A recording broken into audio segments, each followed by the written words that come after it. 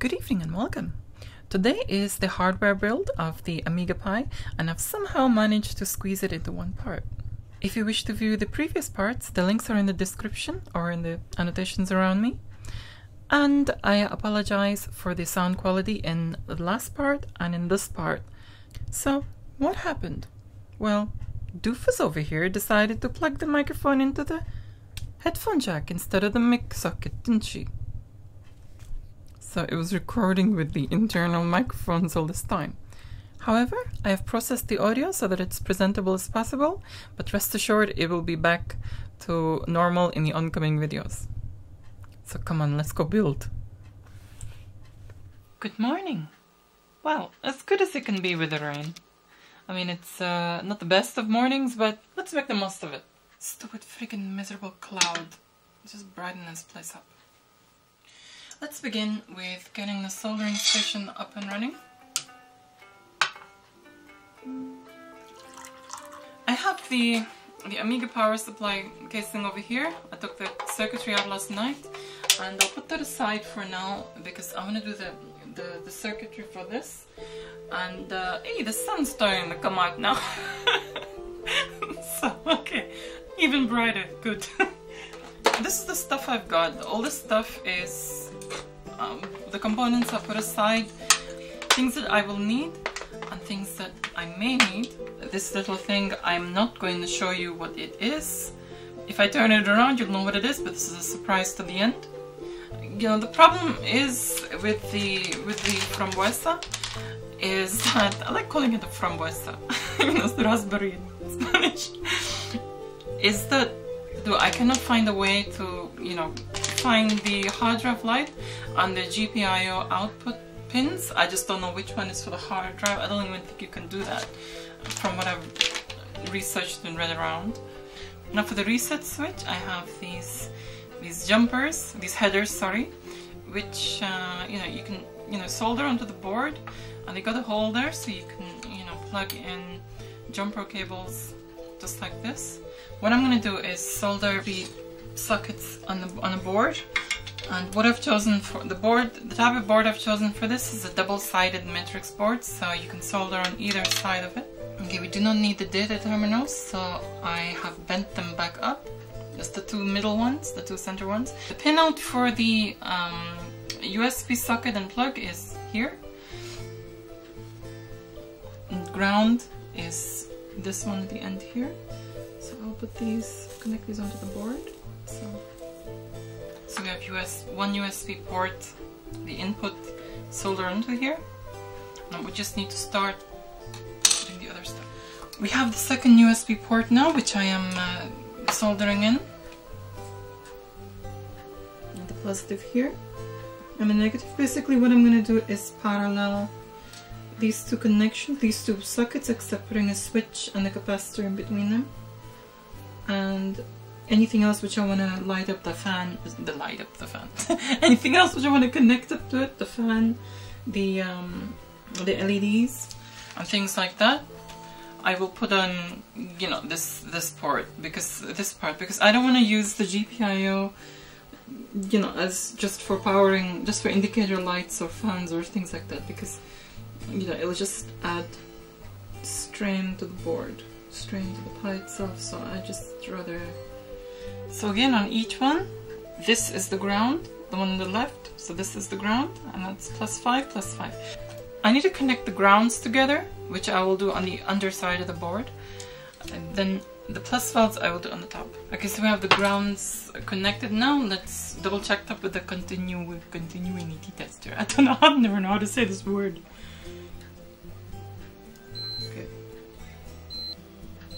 Yep, the grounds connect. Okay, so what I'm gonna do now is stick a juicy capacitor in between them. 10 volt one. To be honest, I just want there to be a juicy capacitor in the circuit. Someone needs to invent and come up with a better design for stupid helping hands. They just annoy me. They either come out of their sockets or they... This is the input. This is what the power goes in here. And this is the output to the Raspberry Pi. So this will be after the switch. Just 10 switch terminals. The switch wires, sorry. So connect, solder this to the positive. Right, I have this old battery bank which, um, you know, I charge it, but it doesn't charge, even though it actually, you know, powers up. So whatever it is, something is wrong with it, so I can just test it. If something is not right, at least it won't, you know, it'll, it damage this, I won't be crying or something. So this is the power going in, and this is the power coming out. So, so here you can see the LED inside this thing, the red thing, when I switch this on, and switch this on. Let's solder the fan in. Okay, so the fan is soldered onto the board now, again. Also what I'm gonna do is put a Piranha LED on it. A Piranha LED is basically this thing. It's like a wide angle sort of LED. Uh, and it's got four pins for some reason, but it's just a negative positive thing going on. So why am I putting those in there? Just to illuminate the inside part of it. I mean, the edges of the USB and everything will be, you know, illuminated and that'll be pretty cool. I mean, I can afford to tap all this stuff off it. The fan and the, the LEDs because um, I'm using a power supply which is uh, one of those high wattage chargers. It's like about you know 17 watts fast charging thing. This fan is going faster by the freaking minute. You know what? I'm starting to wonder if this fan is rated at 3 volts instead of 5. Okay, now I need to make a rail to uh, the negative, as in the ground rail, negative rail. I make uh, single ones and then I just pair them up.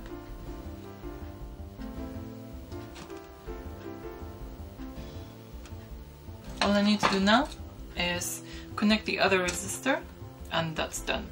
Actually the power LED to the, um, the case as well. That's, and what I'm going to do is uh, for the power LEDs is I'm going to join two LEDs together and super glue them in the same you know fashion as the original Amiga LEDs that were like uh, conjoined LEDs.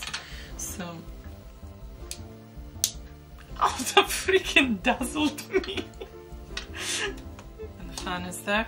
Yeah, I put uh, I put a, a better fan on there. As in, I put a slightly bigger fan on there that's spinning at a more sensible rate. This is the fan I have on here now. This smaller fan that I had on before just like spun so fast that it felt like that it was trying to freaking take off. What I need to do now is to glue these LEDs together side by side. Okay, I need to put these flat down and then this is just will not stick. Smooth and bond them together.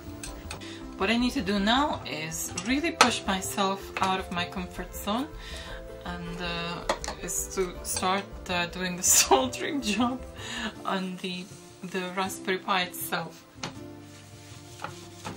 So now I have the Pi 3 here, I have the macro lens on and everything is that big which means I'm gonna do some extremely intricate things here and attempt to solder um, you know tap off the activity LED which you can see there. I'm gonna use one of these headers with two pins there. What I'm gonna have to do to it bend those two pins at a right angle and tin them before even, you know, attempting any of this because I'm gonna have to be extremely still and careful because I am attempting to solder onto my Raspberry Pi and if you want to call me crazy then uh, yeah, feel free. extremely out of my comfort zone, I hate this. How am I gonna do this? Okay, take a deep breath. I need to hold this still to the freaking thing so it doesn't wobble around, move around. Right, so this is the activity LED. This is positive, that is negative. That is the power LED, I'm not gonna touch that. Anybody out there who is watching my video and does surface mount soldering, can you please explain how the freak do you do it? Because I know it's not done by the soldering iron, that's the only part I know. I wish my hand would stop shaking. okay. okay. As far as I know, that is soldered on, even though it's freaking so cockeyed that I need to neaten that up. Ow! I just burned myself. Okay, what just happened? I was trying to straighten out, you know, the header. It came off I burnt my finger, which you can see there. But the good thing is, the LED came off on the circuit board. So basically, it's that tiny piece. That is the LED snugly in between the header's legs. okay. so I'm gonna just like take that off. I'm actually glad that that managed to take it off. The reason why is because I don't want the onboard LED to be there taking the current and I don't want to overload, overload, overload the um, the actual um, circuit. I'm already gonna put two LEDs onto it. One on the board would be the third LED. So okay, so.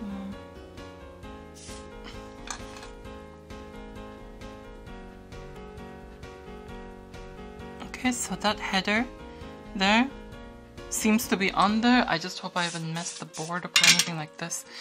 But so far that looks good. So there you have an angled view. I just need to plug this thing in I'm just checking if it freaking works. Yes! It works. Thank goodness. What I need to do is add a reset button. All I need to do, which is nice and simple, is just stick a header in there and just solder it like that and everything will be fine then. So basically what I did here was the two LEDs that you can see that I joined together, I glued together. I have put, this is going to be the activity LED, the red one. So I have uh, wrapped the positive, bent it around and joined it onto here and the negative of this one bent it around in the other direction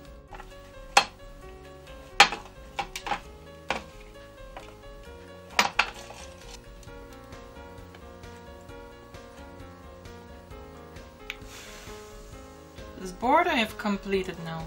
I have put everything I need to on it. This is a bit spare over here. I've done everything carefully. Everything is robust. All the joints are good. The power light, which I'm gonna stick inside here. This is the activity light. So let's just glue these in here. Good thing is I'll put this on a flat surface so the LEDs level out and I can just glue, uh, hot glue them into place make sure there's good metal glue between them so they don't touch each other. This fan is going to be an exhaust fan and it will, the air will be coming out from the top because that's where the air vents are. So while I am here I will just hot glue this fan into place. I don't want to drill holes into this thing so I will just hot glue it in so it can act as an exhaust. So there is some sort of, some form of active cooling. Oh, that was quick. kind of like solidified quick there, it doesn't move. We've done this, we've done the main board, the power board. I think that took longer than, than it should have taken, but um, I guess I'm being extremely careful with this. Okay, so now what all I need to do now is um, measure the the side parts and just find my Dremel tool so I can get it all done today all the hardware stuff, so the software stuff I can just, you know, I can then do that. Concentrate on that after. Okay, now to the slightly scarier side of things. First of all, what I'm going to do is, since this this one screw thread, just this one, is in the way of the audio socket, there is no other way to do this without blocking a port. So what I'm going to do is just, you know, chop this off and everything will be happy. and I can then just measure out, you know, how big the slits to cut.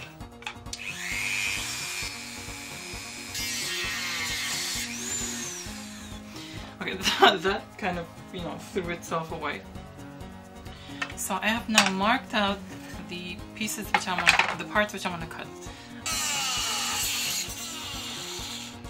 Okay, so I'm back here and I have smoothed everything out with emery paper. Everything is nice and neat now from the inside and the, the side. This I messed up on. I wanted to kind of cut out uh, a little extra for uh, the reset button here, which I miscalculated, so I cut too much. What I can do with that now is use Milliput, which is like epoxy putty, and uh, I can just mold that into, you know, the shape of this and let it set till tomorrow. I'm going to use some Milliput for the cable grip also, as in, you know, just mold a cable grip I'll paint over it in acrylic black paint so it doesn't look you know, messy or anything like this. What this is, basically you have two parts, just like epoxy resin, and you just mix it up. The way I'm mixing this up, I feel like I'm shuffling a deck of cards. okay. Okay, I almost did a nice big juicy style screw up. I was gonna use this button for the reset, and uh, for some reason my gut instinct says, Maddie, just test this. So I did, and it's a freaking push to break, isn't it? Instead of a push to make. So the only push to make I have was this one. so I'm so glad that the freaking is not constantly on reset.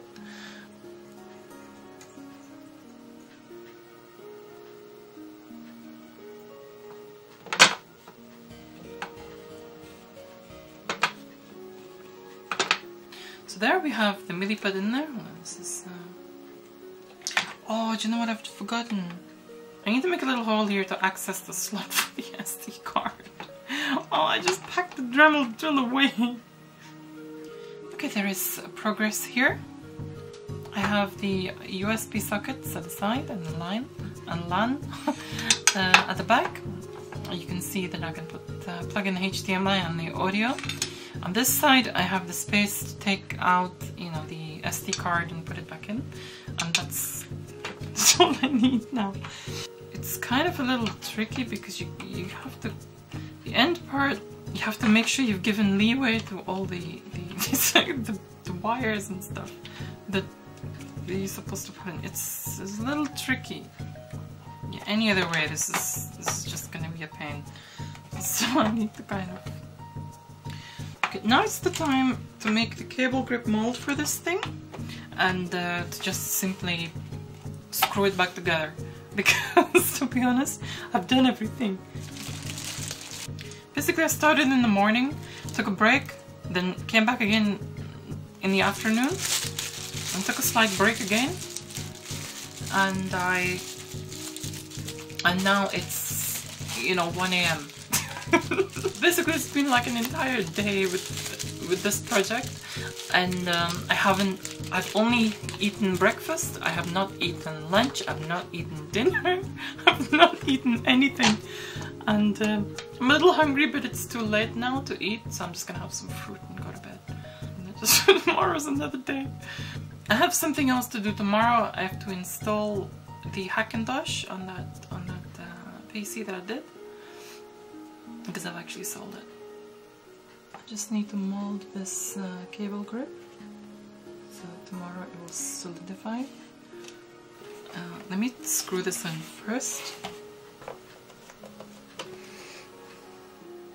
So the next time I will see you will be when I do the software on this thing, when I start installing this thing, installing all the Amiga emulators and all the retro emulators and my files and everything on this thing. So yeah, so thank you so much for joining me.